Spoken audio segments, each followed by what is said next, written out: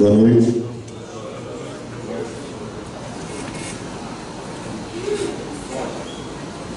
Bom, pessoal, é, o que eu tenho para apresentar aqui para vocês é, ainda é uma proposta do meu trabalho de mestrado na Universidade Federal de Pernambuco, orientação da professora Dora Carla Silva.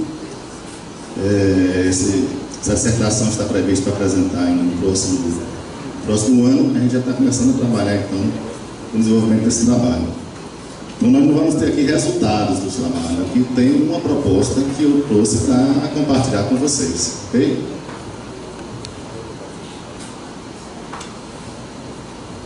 Bom, construir sistemas computacionais flexíveis, adaptáveis, interativos e fáceis de usar é considerado essencial quando se deseja satisfazer a necessidade dos usuários do software. É, sistemas adaptativos são aqueles sistemas que se adaptam à necessidade dos usuários software. Certo? E isso é, é, é, uma tarefa que não é uma tarefa trivial, certo? é uma tarefa muito importante. Então a gente pensou em trabalhar nesse tema devido a, a não ser tão fácil construir sistemas né, desse jeito, mas é uma coisa muito importante, muito interessante principalmente nos dias de hoje, que a computação está em todos os lugares. A gente está aqui, mas você tem tablet, você tem celular, você tem tudo, e os sistemas gente tem que estar acessíveis também, é, para que você possa utilizá-lo é, em qualquer lugar, ok? Vou só mudar um pouquinho aqui a minha estratégia aqui.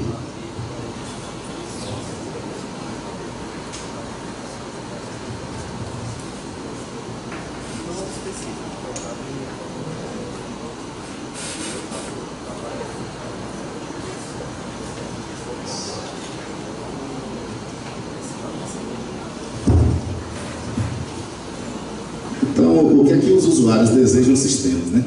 O sistema deve ser capaz de oferecer serviços mais adaptáveis às necessidades do usuário. Ele não precisa ter um grande esforço para é, realizar o serviço que ele pretende, buscar as informações que ele necessita. Então, o mínimo de esforço possível na busca das informações é o que o usuário deseja. E isso é um desafio para quem desenvolve sistemas. Né? Outra coisa, o serviço tem que ser de grande relevância. Não adianta você fazer um software, um sistema e ele ser todo bonitinho, ter uma boa interface, certo? mas ele não tem nenhuma relevância para quem vai utilizar. Okay? Nesse sentido que a gente está buscando a nossa proposta. Bom, Vieira traz esses dois desafios aí, que é que, o, que me motiva na indústria de, de realizar essa, esse trabalho. Certo? Criar sistemas mais adaptáveis capaz de oferecer aos usuários as informações e os serviços relevantes às suas necessidades no tempo desejado. Não adianta você também ter um sistema que ele tenha as informações relevantes, mas que o cara, quando for buscar a informação dele, ele não tem um tempo de resposta também que atenda a necessidade do usuário. Imagine você quer informação nesse momento, você aperta uma tecla de buscar informação e essa informação ou não está disponível ou demora a ser é, visualizada. Então, é também um grande desafio dentro de desenvolvimento de sistemas. Né? Reduzir a necessidade do, do usuário interagir explicitamente com sistemas para alcançar os resultados esperados. No, com a tecnologia que nós temos hoje, é, em muitas situações não há necessidade dessa interação ser explícita. O próprio sistema ele tem condição de é, identificar a necessidade do usuário. Esse é um grande desafio. É, não ser tão explícita essa interação. No momento é, que o usuário deseja essa informação, é, o sistema está pronto para oferecer essa informação, não somente da maneira tradicional, como usar o teclado, usar o mouse, mas de outras maneiras de perceber a necessidade do sistema. Esses são os dois desafios aí que a literatura nos traz. O estudo do contexto e sua influência na tomada de decisões tem sido foco de uma série de estudos e pesquisas, ou seja, tem muita gente estudando isso, tem muita gente pesquisando isso. Né? Daí também a motivação da gente buscar é, trabalhar é, nesse, nesse tema. Entender quais os elementos do contexto que influenciam na decisão de satisfazer ou não um requisito é uma importância interessante no âmbito da engenharia de requisitos. Então, a engenharia de requisitos é aquela que lida com levantar as reais necessidades do usuário. O que é que o usuário, o que é que o sistema deve fornecer tanto em termos de funcionalidade como de usabilidade, de uma interface amigável, fácil aprendizado para o usuário. Então, a engenharia de requisitos se preocupa com isso. Então é muito importante entender o que é, que elementos de contexto. A gente vai entender um pouquinho, quando fala em contexto aqui, o que é que são esses elementos de contexto, o que é um contexto de uma aplicação. Para atingir esse entendimento, existe a necessidade de definir com precisão os elementos do contexto que realmente influenciam os stakeholders durante a licitação. O que são os stakeholders? Os stakeholders são aquelas, todas aquelas pessoas que elas são atingidas, direto ou indiretamente, pelo sistema. Então é necessário que, ao é, desenvolver um sistema, a gente tenha entendimento né, de quais são os elementos contextuais que vai influenciar, que vai ser importante, que vai ser relevante no desenvolvimento dessa aplicação, para que ela atenda às reais necessidades de todos esses que estão envolvidos é, na utilização de, desse sistema. Então a gente é, acredita que um processo que apoia os desenvolvedores, desenvolvedores de software na descoberta de contextos durante a licitação de requisitos seria uma coisa muito importante. A licitação de requisitos é justamente aquela fase onde a gente levanta as reais necessidades do usuário. Né? Então, descobrir o que é, que, que, contexto, que elementos dentro do contexto vai influenciar na, na busca de um sistema que realmente atenda a necessidade do usuário, a gente acredita ser muito importante. Daí, é, a necessidade de se trabalhar é, esse assunto. Bom, mas se falando tanto em contexto, o que é que tem a ser o contexto? O contexto é qualquer informação que caracteriza a situação de uma entidade, pessoa, lugar, objeto, considerado relevante para a interação entre uma pessoa e uma aplicação. Então, o contexto, na realidade, é tudo, tudo que nos cerca. Se eu estou usando uma aplicação aqui agora, objetos, pessoas, o nosso ambiente, de modo geral, está, é o contexto da nossa aplicação. Certo? Então, quando for desenvolver uma aplicação, eu tenho que pensar onde é que essa aplicação vai ser utilizada, em que situações o usuário pode utilizar essa aplicação. Então, o contexto engloba tudo isso. Não é só o usuário em si, certo? mas tudo que o rodeia, objetos, é, é o ambiente de um modo geral.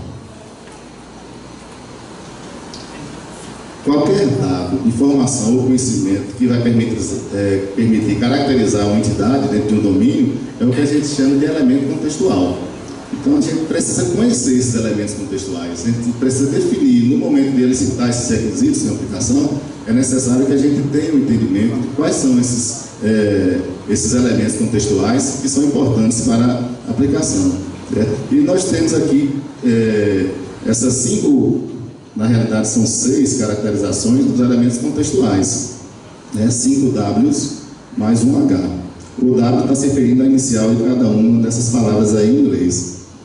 Who são informações relativas às pessoas, ou seja, quem vai usar o sistema? Quem são essas pessoas? Qual é a característica dessas pessoas? Características físicas dessas pessoas? Né?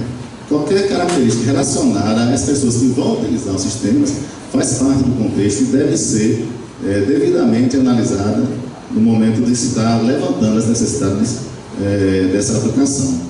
Query é informação sobre localização. Onde é, esse sistema vai ser utilizado?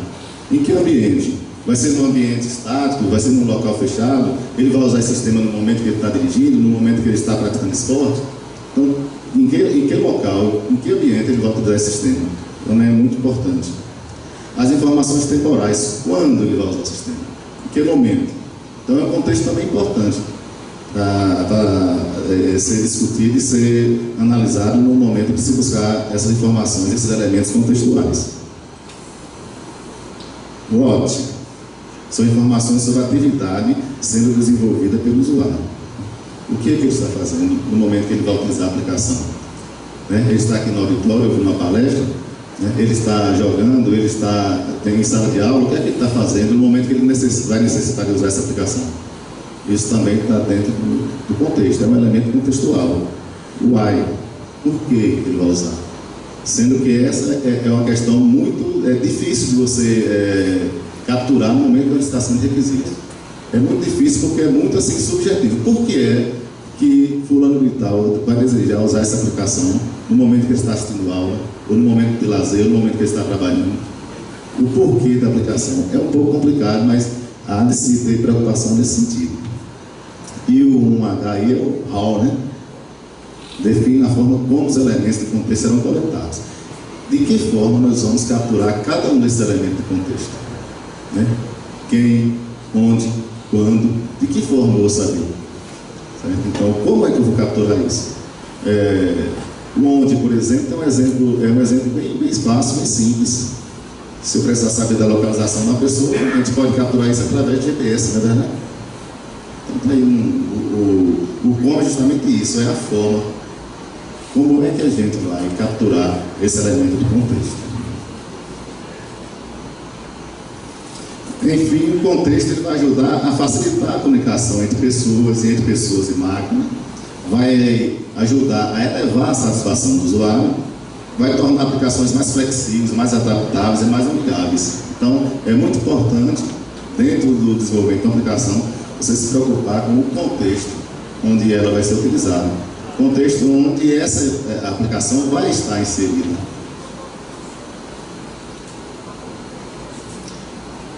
Os sistemas sensíveis ao contexto, só para dar aqui uma situada, né, são sistemas que se adaptam às necessidades dos usuários em circunstâncias diversas. Né? Dessas circunstâncias que eu até já comentei aqui com vocês, né? É um sistema eu vou utilizar em que circunstância, em que situação, como, onde eu vou usar isso. Certo? Então, esse sistema sensível ao contexto se preocupa com essa situação. E compreender e identificar os contextos em que esses sistemas serão é, utilizados, eles serão operados, não é uma tarefa fácil, não é uma tarefa trivial.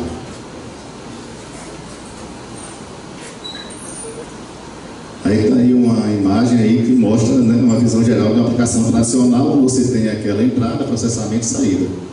Isso é uma aplicação tradicional. Uma aplicação que se preocupa com o contexto, né, ela é uma aplicação onde você vai ter uma entrada, que ela pode ser explícita ou não, ela pode ser também percebida, ela pode ser entendida, inferida pela máquina, certo? E a saída vai ser em forma de serviços né? uma assistência, uma ajuda ao usuário, orientar ele a tomar uma decisão, né? melhorar a percepção do usuário, certo? ou ele se adaptar. Uma aplicação ela pode ser utilizada no desktop, mas ela também pode ser utilizada no smartphone, no iPad, no tablet, e ela tem que ser uma aplicação que, independente do dispositivo, o usuário tem acesso à aplicação, tem acesso à informação que ele deseja.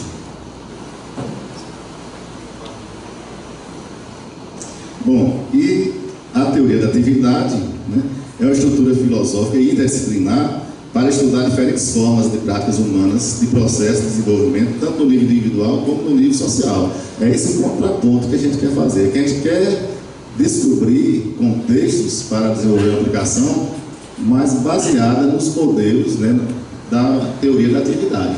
Por isso eu trouxe um pouquinho o que é que vem a ser essa teoria da atividade, para a gente entender um pouquinho o que é isso. Foi uma teoria desenvolvida a partir de conceitos de mediação propostos por Vygotsky, onde entende-se por mediação é que é, toda ação do sujeito ela é orientada a um objeto e ele tem um, uma ferramenta, um artefato que vai mediar essa é, relação dele com o objeto em busca de um resultado. É, essa teoria é fundamentada em princípios que adotam a atividade humana como elemento central, né? a atividade do ser humano é o elemento central, certo? é, e da análise né, para a compreensão e descrição do, do contexto sociocultural dessa atividade. Os princípios utilizados são dentro dessa, dessa teoria. Primeiro, o princípio da, mediação, como eu acho que está tá bom para vocês verem. Né? Falei, por exemplo, vou dar um exemplo aqui, voltado para a nossa realidade, que é o, o exemplo do programador. Certo? O programador é o sujeito que está, ele vai, a ação dele vai ser sobre o objeto, é, um, um, objeto que é o algoritmo. Ele vai criar um algoritmo e para isso ele tem que um editor de texto que vai ajudar. Né? Um IDE, um Da vida, Edifício. Ele vai usar uma ferramenta, um artefato que vai ajudar ele a fazer esse algoritmo. E o resultado vai ser o programa fonte feita. Então, é, o princípio da mediação é, é isso aí. Estrutura hierárquica da tarefa é um outro princípio da teoria da atividade, certo? É, estrutura hierárquica da atividade, melhor dizendo. Então, esse princípio ele divide a atividade em toda atividade, ela orientada a um objeto, ela tem um motivo. E ela é, é, é dividida em ações. Para realizar uma atividade, por exemplo, para é, falar para vocês aqui nesse momento, nessa palestra, tem uma série de ações que eu tive que fazer, inclusive outras atividades anteriores. Eu tive que preparar a palestra, eu tive que dar uma revisada, tive que estudar o assunto, outras atividades. E dentro dessa atividade aqui agora eu tenho o quê? Eu tenho que estar passando aqui os slides, eu tenho que estar falando no microfone. Então, esse conjunto de ações faz parte dessa atividade. Certo? Essas ações estão atreladas, estão direcionadas ao objetivo, que é ao final ter é, alcançado o objetivo de repassar o meu trabalho de, de, de mestrado para vocês, qual é a minha ideia, certo? é dividido também cada ação em várias operações. E as operações é, está relacionada com as condições que o ambiente me proporciona. Né? E na realidade a operação é, é, é aquela, aquela ação, é, aquela parte da ação que ela pode no futuro ser inclusive automatizada. Né? Como é o caso aqui de passar o slide. Veja que eu clico aqui, um slide passa, dá um zoom, volta o zoom. Certo? Isso aqui é uma, uma operação. É, na atividade de aprender a dirigir o carro, você tem algumas ações que no, no, no decorrer do tempo, com seu é, desenvolver, se tornar um motorista um pouco mais prático, tem algumas ações ali que ela vai ser desenvolvida de uma maneira assim, tão sem você nem estar é, tá preocupado, tão mecânica, vamos dizer assim, que ela passa a ser uma operação. E o destino de uma operação é ela chegar a ser automatizada. Por exemplo, quando você está aprendendo a dirigir, você tem aquela preocupação de pisar na embreagem para passar a, a marcha, sair da primeira para a segunda. Mas com o tempo, você passa isso praticamente sem perceber. Isso é uma operação. E ela tanto pode ser automatizada que hoje o que a gente tem? Nós temos carros de câmbio automático. Não precisa estar preocupado em estar passando é, a marcha do carro. Né? Um exemplo aí para a gente tentar ilustrar. E esses outros dois princípios aí, que é o desenvolvimento, o princípio do desenvolvimento é a, análise do fenômeno, leva em consideração o contexto do seu desenvolvimento.